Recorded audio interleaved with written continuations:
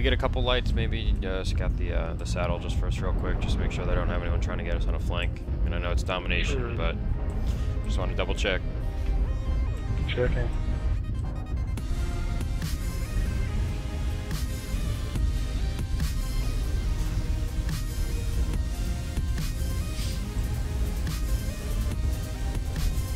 I want to be dead straight.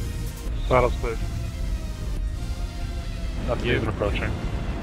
Kintara, you're gonna be the first one in the circle, along with uh, Desnell. Just hold up in the corner if you want to go underneath, under the platform. 25%. Do not let the enemy keep it up. Airstrike online. Any contacts in the tunnel? One. What is it? I just got a glimpse. Okay. Uh, they're in the circle now. Target acquired. Got Charlie off in the distance. There's a light. I think he's looks like he might be a sniper. Yeah, he might be going towards the uh, island there, but it does look like a commando. Yeah, it is. Target spotted. Turn around and get him? Uh, no, don't chase. It doesn't look like he's uh, he's only got mediums and an SRM2, so Okay, you might be spotted up in the middle. all right, let's hold up here. Assaults. Target spotted. I don't mind leading the charge, but we need everyone else to come with us in the tunnel.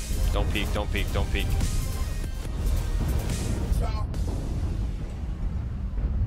Okay, they're peeked out all over the uh, Delta line. All right, assaults. If you guys want to come with me, you can lead the charge through the tunnel. I think that's where they're. Roger. Ready, ready? Three, two, one. It's a cicada.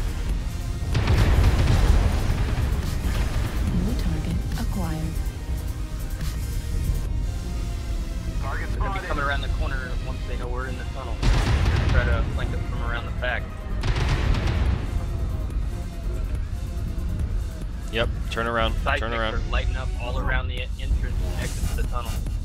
Just keep your eyes on the back of the tunnel because they're gonna. They, now that they know we're here, they're gonna swing around like you said. New target Hey, look acquired. Yeah, they're already pushing. They're up on top of the platform now. Stick with our annihilator. Let's not let him fall behind. He's got a lot of firepower. Don't want to lose him. So who's got you? Foxtrot, center torso. Take him out. All right, let's push back around. We, they, we got him split right in the middle. Right outside.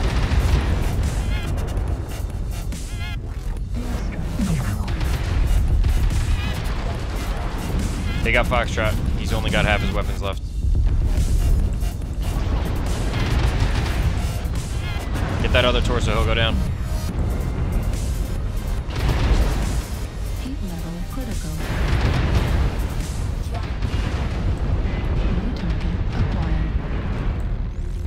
Annihilator, we need you to push forward. You need your, we need your armor up on the front. New target acquired. Go for golf. Go for golf.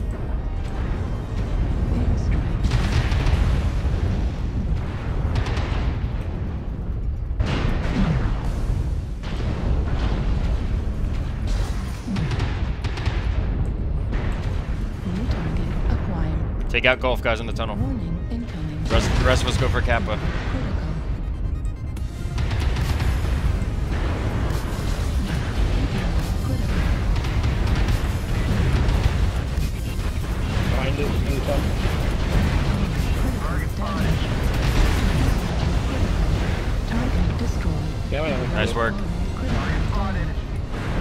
Help on this light. He's behind me. Target acquired.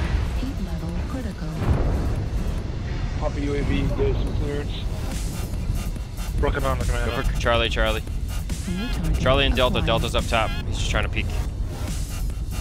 With the UAV, here. We also have an assault in the water, so just watch your flank.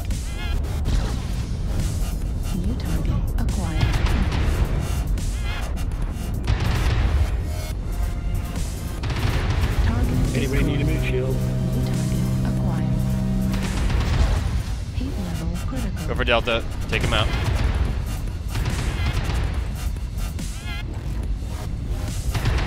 level Delta. critical. Target destroyed. Man, that Four Marauder's more tanky. left, guys. Heat level critical. Good, Commander. Target acquired. Heat level critical. Oh, the Cicada's the second one left. Focus on the acquired. cicada.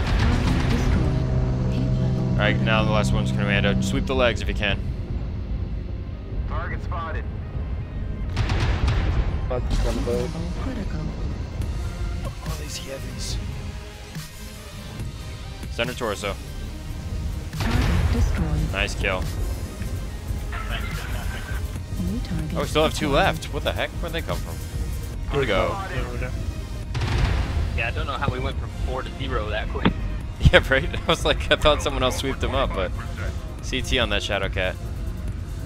Looks like he's running, so we're just gonna get him on the timer. Unless our lights can catch him somehow.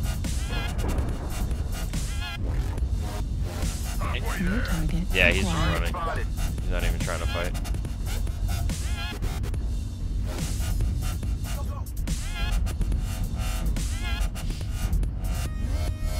Oh my god, I survived. That was a mistake. Victory is within our grasp. Nice work, fellas. Hope the comms help. Oh, it did. Much. Thank you for calling. Any games you play where you can get comms, that's where you should win. Taking the target. we are victorious. Tried to make it clear I know I was rambling and, and firing them off real quick, but thanks for sticking with me, fellas. Val, we learned. Thank you.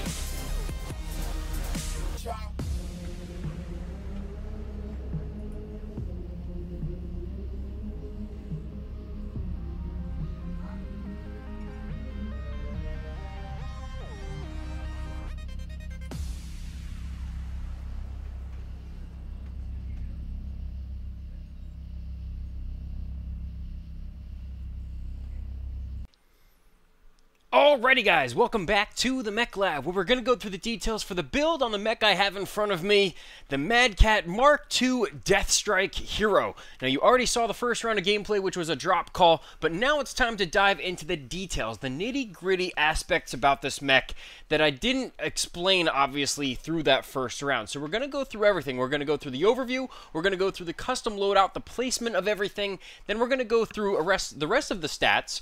And then we're going to go through the skill tree so you see exactly what makes this mech tick, including all the quirks and aspects about it that I applied to it that made it, uh, you know, definitely very high octane out there on the battlefield. And then we're going to go through some other rounds of gameplay, including the final round of gameplay, the third round of gameplay. That's right, I'm doing three rounds of gameplay for you guys today, all on different maps so you can see how this works in different environments.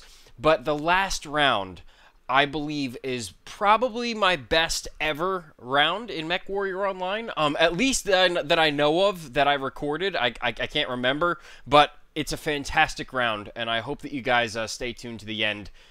Unbelievable. I have no idea how, how it came to be that way, but let's dive into the mech for now. Let's go through the stats and the overview of this build. So first and foremost, checking out exactly what this Deathstrike has to offer. 2 ballistic, 6 energy, 0 missile, 1 AMS, and 0 ECM.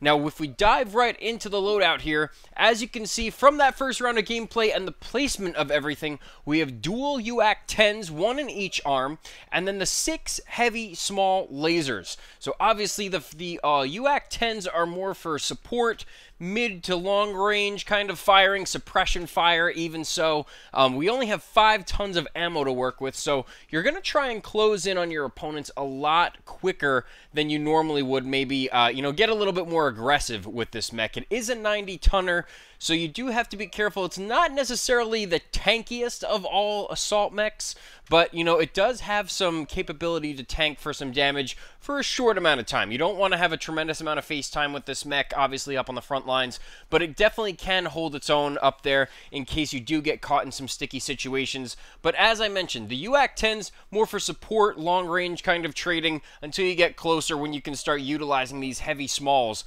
Um, very, very heat intensive, even no, we are only using small lasers, and that is very, very close range combat that we're going for there. A Clan XL 390 is what I wanted to go with on this mech. Fills it out entirely, so so we're really um, packing the tonnage in here, inclusive of the slots, the structure slots, and everything like that. We have the, so as I mentioned, we have that Clan XL 390 We have um, 78 out of 78 slots, 556 out of 558 armor. I only took uh, two armor hard points out of the head so that we can fit that last clan double heat sink.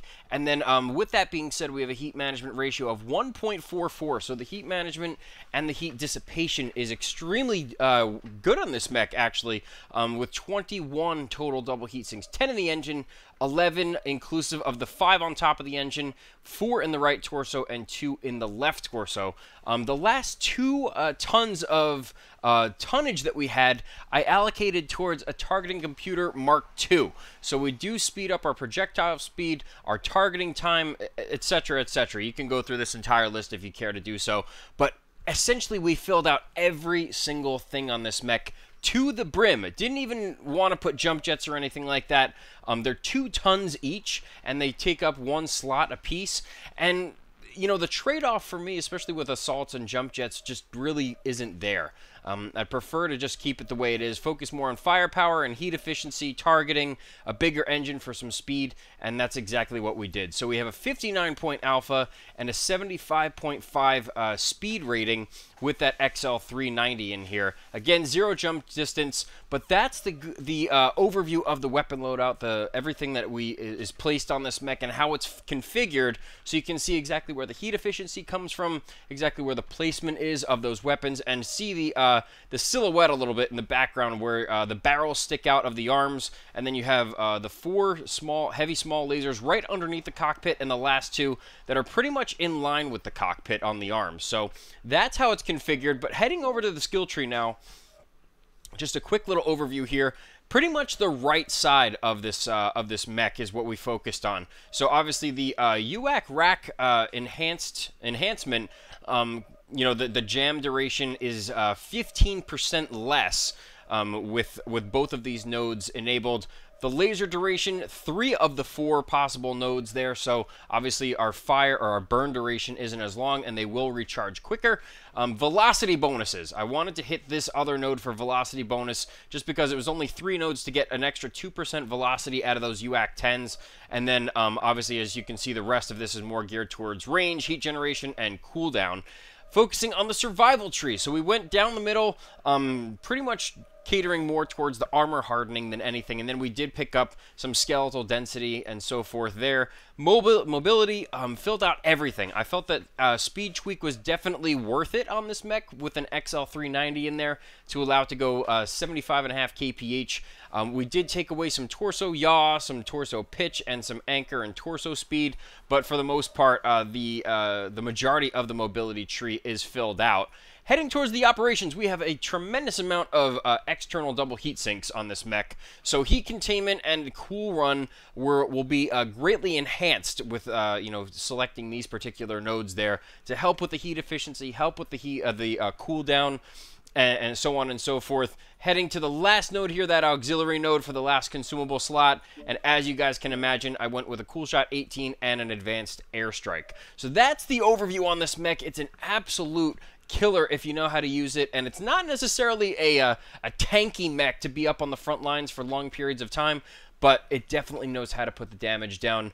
And um, you know, I'm averaging usually between 850 to 900 per game um, with this particular mech in this particular loadout you know, all things considered on average. So obviously there are crappy games, there are fantastic games, and hopefully if you guys stick to the end, you'll see that unbelievable round that I did have. Probably my best uh, as I ever as I mentioned before that I've ever had in this game. So, thank you guys so much for tuning in. I hope you enjoyed the overview on this mech, but now it's time to hit the battlefield for a few more rounds of gameplay in the Mad Cat Mark II Deathstrike Hero. Here we go.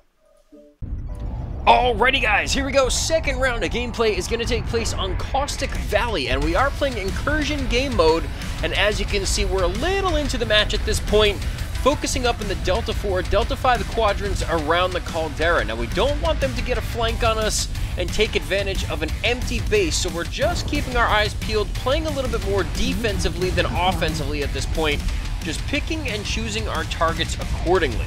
So focusing up, looking over the corner, here we have a, uh, a Stormcrow that retreated back towards the rest of his team.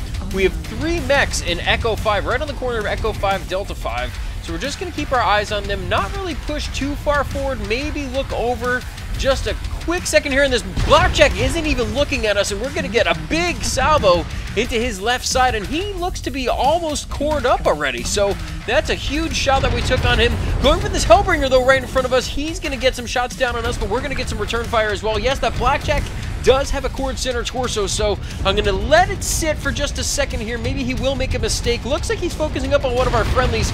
Focusing up now on this guy right in front of us, this Mauler. And we're going for that center torso. It's very, very weak. Taking him out of the round. My friend is able to take him down. I did lose a heavy small laser in my right torso, though, for that. I am getting pinged up by some missiles as well, so just trying to dodge out of the way of any more incoming damage. Now focusing up around Delta 6, Echo 6. These guys are going to try and push around the corner, and we're going to take advantage of that as best we possibly can.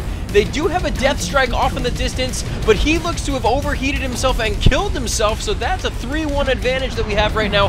Focusing up everyone on this Warhammer, and he goes down. We get a shot into that center torso for the kill. Now focusing up around the corner, going for this Marauder 2C Scorch. And as you can see, I'm getting a little bit more aggressive on this side because my left torso is not as weak as my right torso. So I know that I can afford at least a little bit more tankability before I have to back up. Focusing up on that Scorch again. We took off both of his side torsos, which affords us the kill. Changing targets again really quickly as Ebon Jag has his back to us.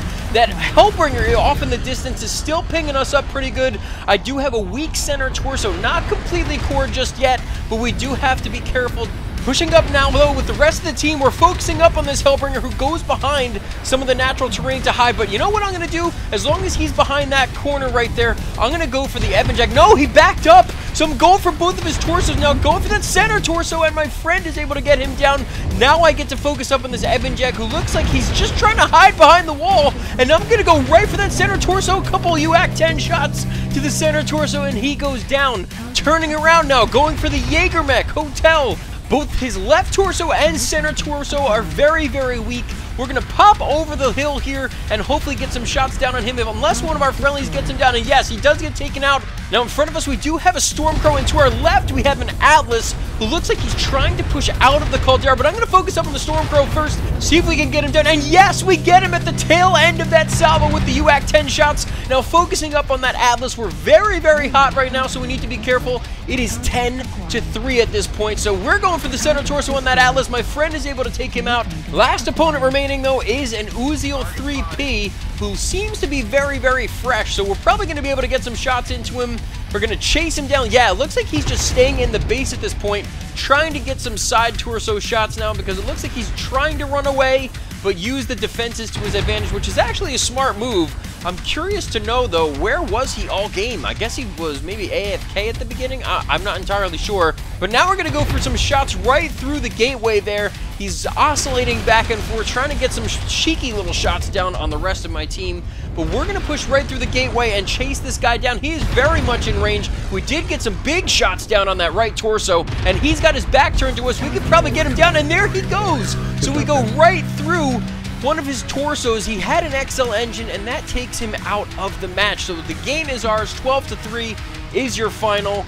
Inside of the opponent's base here, five kills, five assists, four times doing the most damage, 851 damage total with nine components destroyed. We did top the leaderboards here with damage and our score for the round, an absolutely ridiculous round of gameplay with this mech, especially on one of the hottest maps in the game of Caustic Valley. But that's going to do it for the second round. To wrap it up, let's head back out to the battlefield for the last epic round of gameplay. Here we go.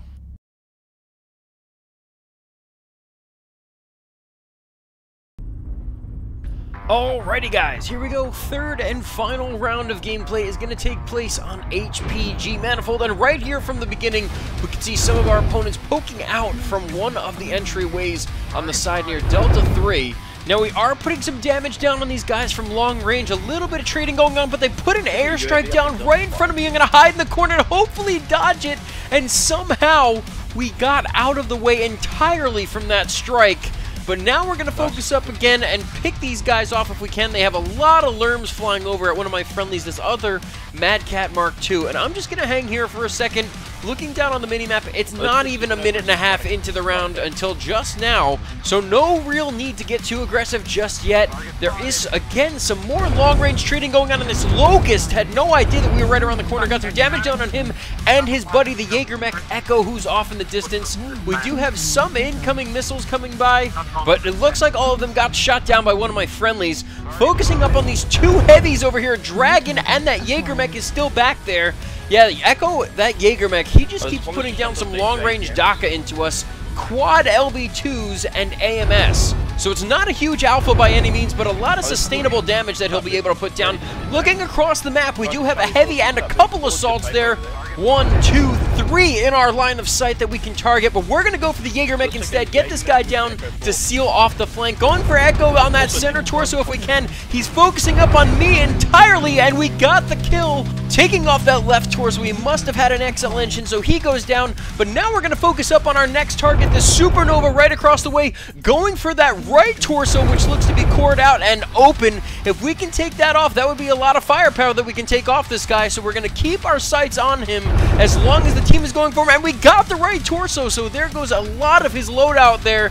Going for that other torso, he has a standard engine as well, so he's going to hop down, but he's completely neutered at this point, so he should only take a couple more salvos before he goes down entirely. And we got the kill on him as well. It is 2 to 2 right now. focusing up on Hotel, we need to be careful of the heat management there, firing off those UAC 10s and those heavy small lasers in conjunction with each other is just too much heat for this mech to handle over time. So we're going to go for Hotel. He's trying to run away, going for that backside, coring up all of his torsos on that backside. Now focusing around the corner, another Supernova right here in front of us, and we're just going to go for him now.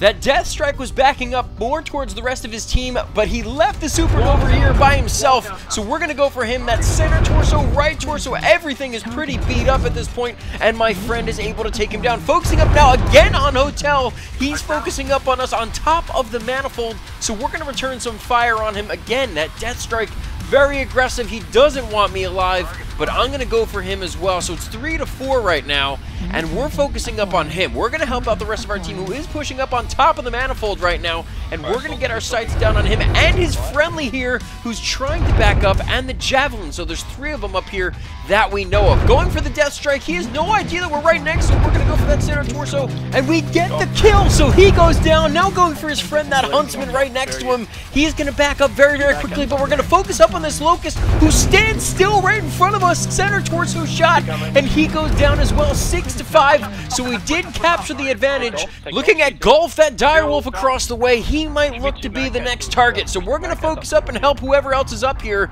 Yes, we do have a friendly up here, and we're going to shoot right through the pillars here on the manifold, coring out that center torso. He's going to back up, and somehow he did survive for now. But we are going to be in hot pursuit on him, so we're going to keep our eyes peeled and just look for any targets in the meantime. And right in front of us, Alpha is peering up. It is a dragon. Now, we need to be careful of the dragons. They are very tanky, but we're going to put some shots down on this Huntsman as we drop to go for the kill on this Direwolf. Going for that center torso on the Direwolf, and one more shot to that center torso. He should go down, and there he goes. But we did lose two of our heavy small lasers and both of our UACs right now. We are out of ammo, so all we have are the four heavy small lasers to go, and we're going to drop down and help out on this dragon. So we're going to put some salvos into him with whatever we have left, just trying to amplify some damage. It is 7 to 7 right now. Now, as my friendly does go for that dragon, we're going to help out on the Marauder, maybe peel off one of his torsos so we cut off some of his hard points. But now at this point, with the limited capacity of our loadout left, we do need to help out the team from a tanking perspective. So we need to stay up here on the front lines, distract these guys, amplify the damage on whatever components they're going for. I'm going for the center torso on this Marauder. Both the front side and the back side are out of commission on this guy. I did lose another heavy small laser, but maybe one or two more shots on this guy's center torso, and we get the kill off that burn duration. So the Marauder goes down. It is 10 to 7 now. We were able to wrap up three more kills. There are only two of them remaining. One of them in front of us, which is this Enforcer Gilly, so the hero variant. We're going to put some damage into him as our friendlies start to swarm around him. And it looks like the other of our two opponents left is coming around the corner. It's an Atlas. Are you kidding me? This guy is fresh as anything. I am so done right now, just trying to help out and distract a little bit while my team can maybe get this guy down. Magic Pain Glove in that Atlas. He's the one who is taking me down there. Six kills, four assists, 1552 damage. Are you kidding? I think that might be my best round ever recorded. Ever. Oh my gosh, guys, it's 10 to 9. Come on, you have to close this one out. That would be an epic fail with that kind of score to lose now. But now this uh, Atlas is neutered, and that's what I'm telling them. Don't go for him. Oh, okay, so they took him down, but now they have to focus up on this Gilly. The Gilly is very, very tanky, and this guy keeps overheating with his mediums, his ER mediums. Stop doing that. You're going to just overheat again. Are you kidding? It's 11 to 9. Oh my. All you have to do is go for the leg. He's weak. He's, he, all the, that's the weakest component he has. Just everyone go for the leg. Please just go for the leg and end the round. 11 to 9. Go- Oh my gosh. This guy just keeps overheating. He's going to blow himself up. We have to change targets. And we got him! Oh, but the, the final, we just changed over to the final guy. Gray Magi gets the kill. He is able to finally sweep that leg off the gilly. Let's check out the final score here for the round. Six kills, six assists, five times, doing the most damage, 1552 damage with 16 components destroyed. Uh, That I don't even know what to say. That I there are there are no words. I don't, and I suck at this. There are literally no words for that. I I can't even. I didn't. I didn't. I'm lost. Um. GG, I guess. well, now that I have my mic back on, um, I'm still kind of in shock from that last round of gameplay. Um, as you all know, I I usually suck in assault mechs, and somehow, some way, we put up a monstrous score on HPG Manifold. It is my favorite map, and um, the stars must have aligned on that one for me to get that kind of score, knowing how I like to perform with my mechs and the, the weight classes that I'm most comfortable with. But that has to be an all-time record high for me, especially damage-wise. Um, absolutely insane. I, I, I, there's no nothing else I can really say. I just want to say thank you guys. Really, thank you for tuning in. I hope you guys enjoyed the, all these rounds of gameplay. Again, this is the Mad Cat Mark II Deathstrike Hero. Absolutely insane, especially the last round. I had so much fun playing with this mech. It runs pretty much like a heavy. I mean, it's very fast, especially with a big engine in there. It has a very substantial amount of firepower as long as you keep everything intact. So helping out your team on the front lines in the early stages, cleaning up later on, even those backup heavy smalls late in the game, I mean they're they're putting down damage. They got me an extra kill there on the last round of gameplay on a very very tanky mech. And I mean, the stats kind of speak for themselves. Obviously, it's kind of situational. You have to play it out, and we are in the pug queue. There are very, very random variables that are in each round, but uh, that's the potential that this mech has out there on the battlefield. So do not underestimate it, especially if you come across it on the battlefield.